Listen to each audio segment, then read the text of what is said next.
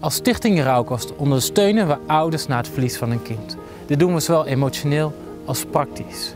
Uit ervaring blijkt dat de cijfers rondom echtscheiding, burn-out, depressie of zelfmoord vele malen hoger liggen bij ouders die een kind hebben verloren. En daarom willen we er als Stichting Rouwkost zijn. Het verlies van een kind kunnen we helaas niet meer voorkomen. Maar al die andere verliezen die wel geleden worden, daar willen we ons juist voor inzetten om die zo maximaal mogelijk te beperken.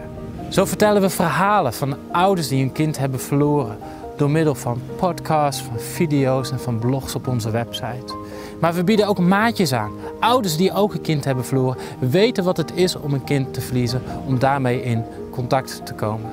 Maar ook voor zorgprofessionals zijn we er om onze ervaringen en verhalen te delen met hen, zodat zij zich daar ook in kunnen ontwikkelen en kunnen trainen. Om ouders te ondersteunen na het verlies van hun kind zijn we op zoek naar maandelijkse donateurs, vrienden van Stichting Rouwkost. Wil jij ouders ondersteunen na het verlies van een kind, willen we je uitnodigen om een maandelijkse bijdrage te leveren aan Stichting Rouwkost, zodat we datgene kunnen doen wat zo ontzettend belangrijk is. Ouders ondersteunen na het verlies van een kind.